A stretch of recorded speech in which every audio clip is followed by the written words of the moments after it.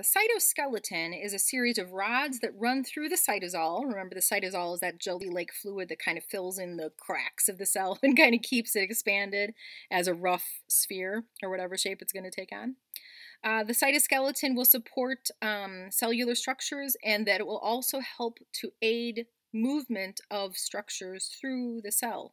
There are three types of rods in the cytoskeleton. There are microfilaments, there are intermediate filaments, and there are microtubules. Um,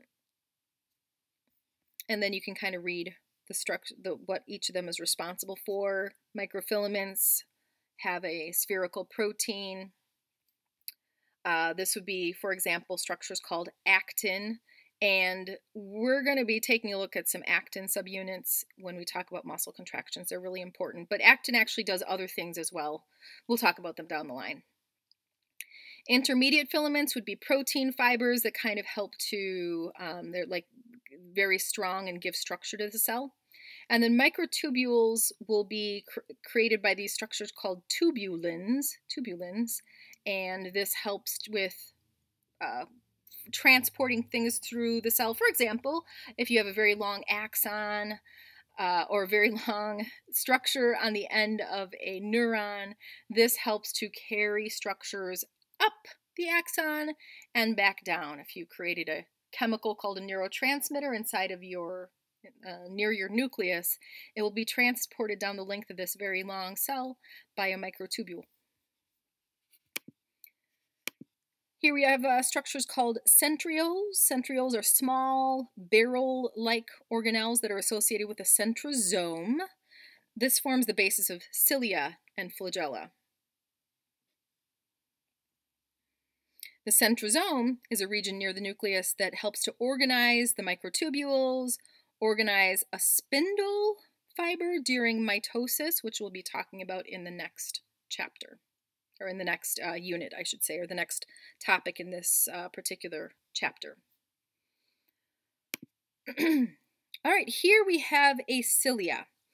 This would be considered an, a cellular extension. So there's three types of cellular extensions. There's flagella, cilia, and microvilli and it's sometimes it's easy to kind of get them mixed up. They actually don't show a good picture of a flagellum here, but flagella are going to be uh, the, the most famous example for humans would be a little tail that hangs off the end of a sperm. A flagellum whips around kind of like a helicopter um, what's it called? Helicopter blades, and kind of helps with moving things along, like literally moving the cell through space. In the case of a sperm, it helps move the sperm along so that it can eventually find an egg. All right, but what we're looking at here is not a flagellum, this is a cilia. You can kind of look at the actually rather complicated structure of a cilia. These are whip-like motile cellular extensions on the exposed surface of some cells. And we'll be looking at two examples this semester. I'm not sure how much detail we're going to get into it, but oh no, three examples this semester. So we'll have cilia that are kind of embedded. Um, they are part of the cell. You can see that they're actually an extension of the cell. They're an extension of the cytoplasm, um, the outer membrane of the cell, but they, they have different purposes. Um, all right, and so they help, I don't know, they kind of help to move things along, but they don't actually move the cell. They move things along, but not the cell in particular. And sometimes they're moved by things. They could, for example, receive vibrations from sound and change the cell so that it starts to process sound. So you have cilia inside of your ear, for example.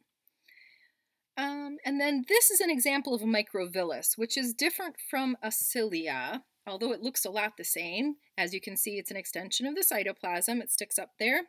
Uh, the microvilli would be called, they're what we call um, finger-like extensions of the plasma membrane. Their main purpose is to increase surface area. We're actually not going to be looking at microvilli until the second semester of the class when we're looking at the digestive system. Um, but the microvilli help to secrete enzymes that help with the digestion of food, and they also, to a certain extent, help with the absorption of foodstuffs into the body. And the more surface area you have to do that, the more efficient you will be at consuming food. So microvilli are super, super important as a way to increase the surface area of the cell. Now, this is the first time I'm actually mention, mentioning the word surface area but surface area is maybe the number one answer to any question in biology. It's all about the surface area. and what I mean by surface area is this I talked about how all important biological mechanisms in your body happen. I'm not sure all, but most biological things that happen, most physiology happens across a membrane. The more membrane you have, the more things you can do. If the surface of this cell was simply flat, you'd only have a certain amount of um, surface area and only a certain amount of plasma of plasma membrane through which things could happen. So you'd only be able to have a certain number of proteins for example embedded in the surface there. But if you have all these extra extensions here that increases your surface area multitudinously. We'll talk about the size difference of a flat surface versus a surface with these invaginations. And so you'll see this all the time in the body. Lots of lot lots and lots of infoldings and outfoldings in a very small space.